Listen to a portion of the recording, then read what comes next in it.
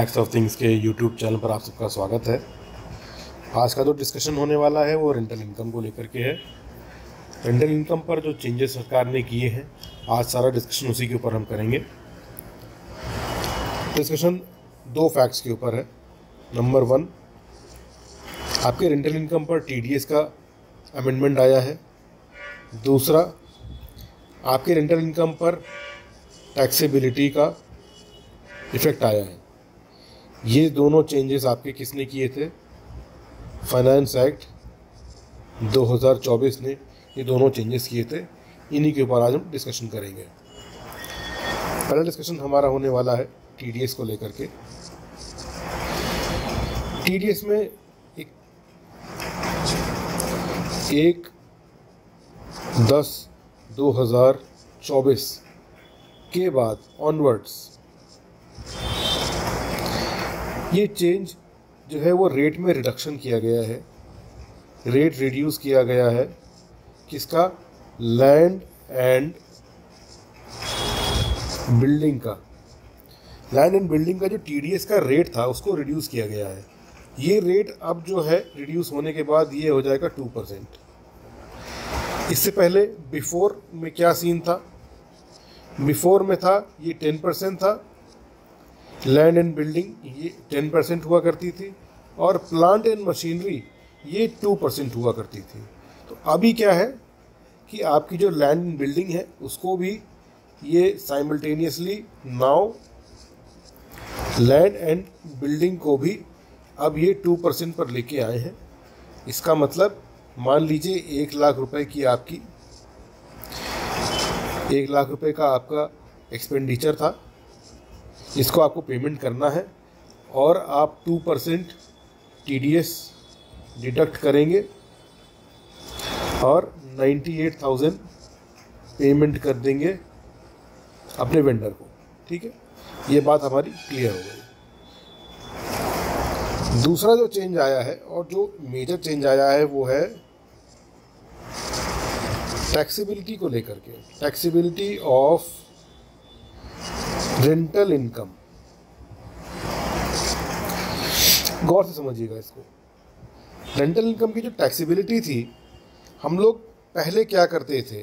Before for tax saving tax saving के लिए हम लोग क्या करते थे रेंटल इनकम में? कि अगर हमारी कोई मान लीजिए कॉमर्शियल प्रॉपर्टी है फॉर एग्ज़ाम्पल कोई कॉमर्शियल प्रॉपर्टी है उससे हमको रेंटल आता है और सर्टन एक्सपेंडिचर भी हम करते थे। मगर ये certain expenditure not exceeding considering कि ट्वेंटी परसेंट होगा।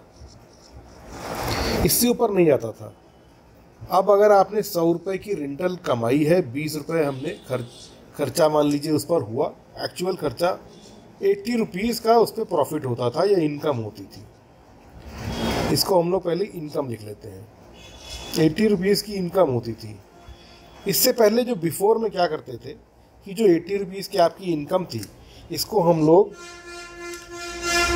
पीएल बैलेंस शीट वगैरह बना करके क्या करते थे? हमने हंड्रेड रुपीज़ यहाँ पर इनकम दिखा दी और एक्सपेंडिचर जो हमने दिखाए एक्चुअल प्लस एडिशनल हमने टोटल एक्सपेंडिचर ही दिखा दिया एट्टी रुपीज़ का।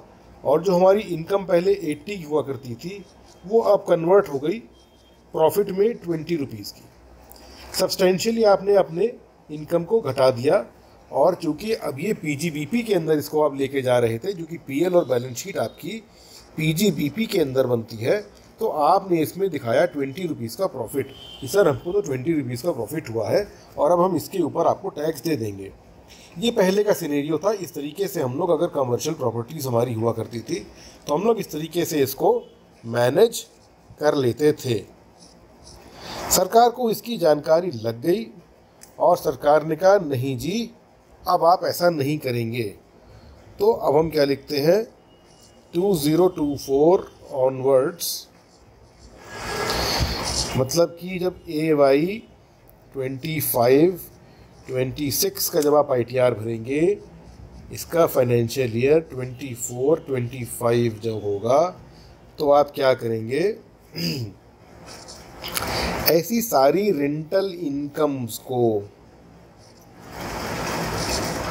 सरकार ने अब कहा है कि ये हाउस प्रॉपर्टी के अंदर ही दिखाना है। ये आपको हाउस प्रॉपर्टी में ही दिखाना है। इसको आपको पीजीबीपी के अंदर नहीं दिखाना है। ये आपकी रेंटल इनकम ही मानी जाएगी। इसको आप इनकम ही लेंगे। This will be treated as incomes and not profits ठीक है? तो यहाँ पर ये बहुत बड़ा इन्होंने चेंज कर दिया है कि जितनी भी रेंटल इनकम्स आ रही हैं related to properties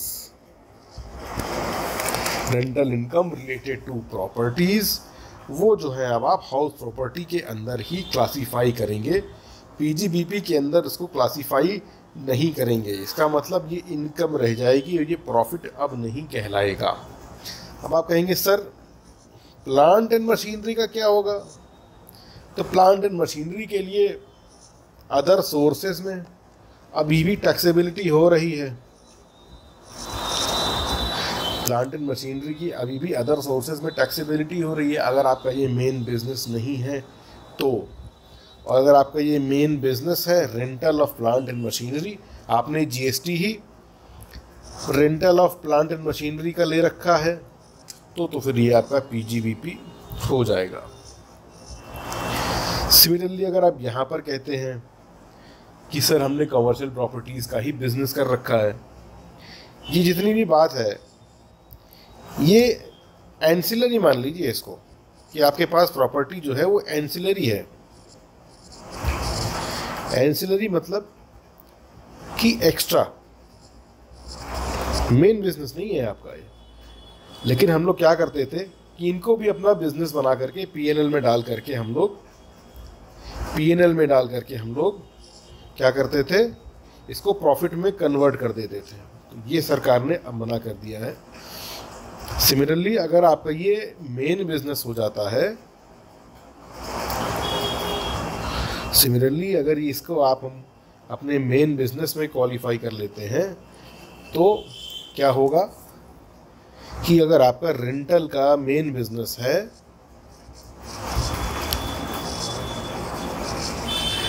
तो भी आप इसको पीजीबीपी के अंदर लेके जा पाएँगे। मतलब कि आपने private limited public limited companies वगैरह बना रखी हैं जिसमें जो ऑब्जेक्ट्स हैं, उसमें आपने रेंटल इनकम ही दिखाई हुई है। तो ये आपका पीजीबीपी हो जाएगा। या फिर आपने जीएसटी नंबर आप प्रोपाइटरशिप फर्म है आपकी, या आपने जीएसटी नंबर ले रखा है तो भी वो आपका मेन बिज़नेस हो जाएगा। अगर आप केवल प्रॉपर्टीज़ ओन करते हैं, आपकी जो बैलेंस शीट है, उसके अंदर प्रॉपर्टीज़ आ रही हैं और आपका मेन बिज़नेस ही रेंटल वाला है। तो आप इसको पीजीबीपी के अंदर लेके जाएँगे, अन्यथा ये पीजीबीपी के अंदर क्वालिफाई नहीं होगा। अगर आपका ये एंसिलरी बिज़नेस है एंसिलरी इनकम हो रही है this will always be taken under house property इसका मतलब कि जो हम लोग एडिशनल एक्सपेंसेस दिखाते थे, वो अब अलाउ नहीं होंगे। अलाउ ही नहीं होंगे क्योंकि ये पीजीबीपी नहीं रह गया। ये अब हाउस प्रॉपर्टी की इनकम है। ये आज का डिस्कशन था इसके ऊपर। मैं उम्मीद करता हूँ कि आपको अच्छा लगा होगा, ये फ्रूटफुल रहा होगा सेशन मिलते हैं अपने अगले वीडियो में। तब तक के लिए नमस्कार।